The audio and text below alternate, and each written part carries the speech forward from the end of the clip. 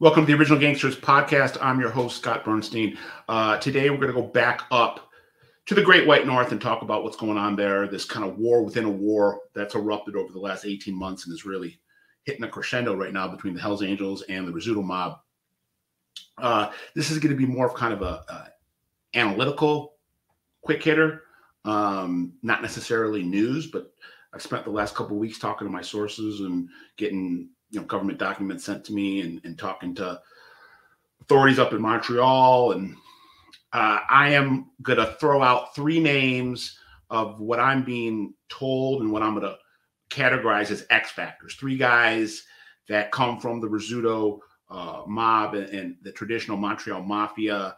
Uh, three X factors that I'm told could play a difference in who wins this war, who who's the victor, uh, who who falls to defeat, whether it's the Rizzuto mob or the Hells Angels and Marty Robert, the, the boss of the Hells Angels in, in Montreal, who's making a big power play here and, and, trying to take over kind of all of Canada's rackets, uh, become the boss of bosses.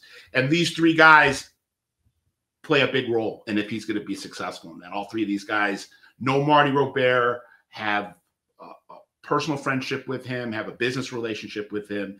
And I think it, it remains to be seen if they're going to back him uh, or they're going to uh, kind of double back and and get behind the Rizzuto. So the three names are uh, Davide Baldi Barberio, who we've talked about the last uh, about month or so, and then an, an old school guy that if you've been following Montreal uh, over the last couple of decades, you probably heard of uh, Antonio uh, Pietrantonio, aka Tony uh, Suzuki. Um, he's about 60 years old, dates all the way back to old man Vito Rizzuto.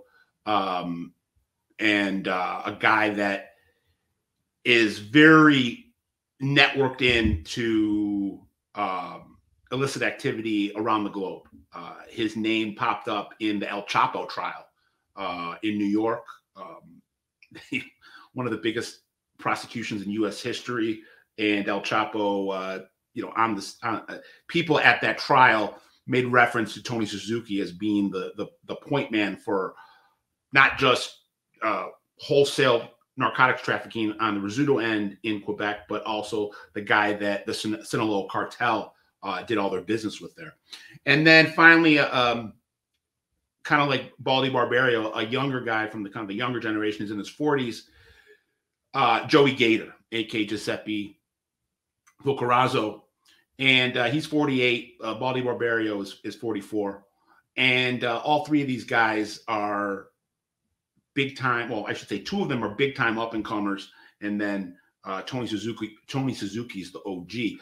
All three of them have survived murder contracts on their head throughout this decade and a half ordeal that I've coined the you know the Great Canadian Mafia War that erupted after Vito Rizzuto, the uh, the most legendary mafia don in, in Canadian history, uh, had to go serve some prison time in the United States, and this whole family imploded um, from within. And then all of a sudden, you know, the, the sharks smell blood, and people that had once been allies are now enemies. Takes us to the Hells Angels, who had always been on very good terms and had strong business ties with the Rizzutos uh, for the last 30 plus years. And then at some point in the last year and a half, that relationship frayed and it looks like uh, they are now adversaries. Um, Joey Gator and Tony Suzuki both attended Marty Robert's wedding, which was a big flashy affair about five years ago. He married a underworld princess, Annie Arbic, uh, whose mom was the queen pin of Quebec uh, in terms of uh, wholesale marijuana and it was a glitzy affair. You had luminaries from all these different criminal factions that that came um, to celebrate Marty Robert's wedding, and the, the, representatives from the Rizzutos was Tony Suzuki and, and Joey Gator. Um, Baldi Barberio, we're hearing, you know, could be the top guy on the street right now for the Rizzutos, running uh, day-to-day activity, the street boss. Um, came up under Ponytail DeVito, who who uh, was assassinated in prison, uh, cyanide poisoning. But uh, uh, Baldy Barberio is a is a player, and uh, there were rumors, unfounded at this point, um, uh, not confirmed, but there were rumors that if Chit Del Balso, who it looks like joined forces with Marty Robert and the Hells Angels to try to take out Vito Rizzuto's son and successor, Leonardo Rizzuto, uh, back in a uh, highway assassination attempt back in the spring that was unsuccessful. The rumors were that if that had been successful and Chit Del Balso had removed Vito, uh, not Vito, Leonardo Rizzuto from power, that uh, Baldy Barberio was going to jump on board with Chit and uh, Marty Robert. So where he stands right now, I don't know, but taking his temperature, uh, you know, less than a year ago, talking to these sources, it looks like he was open to to joining Marty Robert. Um, Tony Suzuki, we know that he's been involved in insurgents of the past.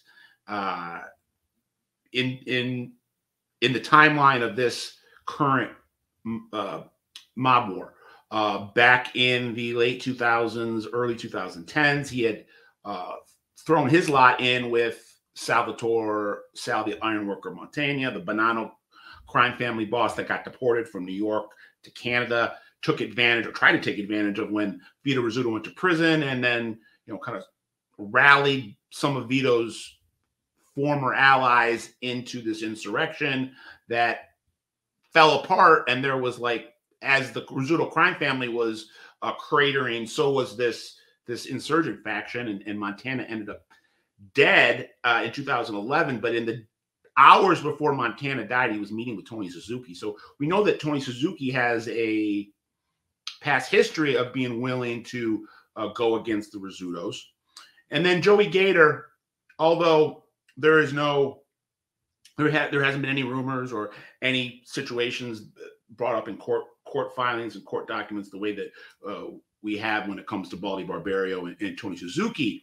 Um, Joey Gator is one of these guys. He, he's worked very closely with the Hells Angels over the last 20 years, uh, 25 years. He's a guy that is kind of a overseer at you know boots on the ground uh, at the, the street level. He's a guy that I, have been told oversees a, a, series of kind of JV mobs that move drugs and guns uh, for the Rizzutos. But for years they were doing it with the Hells Angels. So Joey Gator was uh, on a day to day basis dealing with Hells Angels. So you know he's he's 48 years old. Barberio's 44. These are young guys that have a lot of time left. Uh, you know, in the uh, in the underworld, Leonardo Rizzuto's only 50, 53. Marty Robert is 49. So these are all relatively younger guys, and uh, it should be really interesting to see where those three guys land in this in this conflict.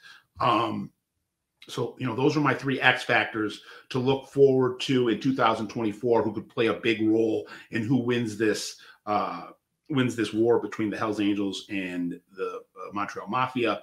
Uh, Baldy Barberio, Tony Suzuki, and Joey Gator.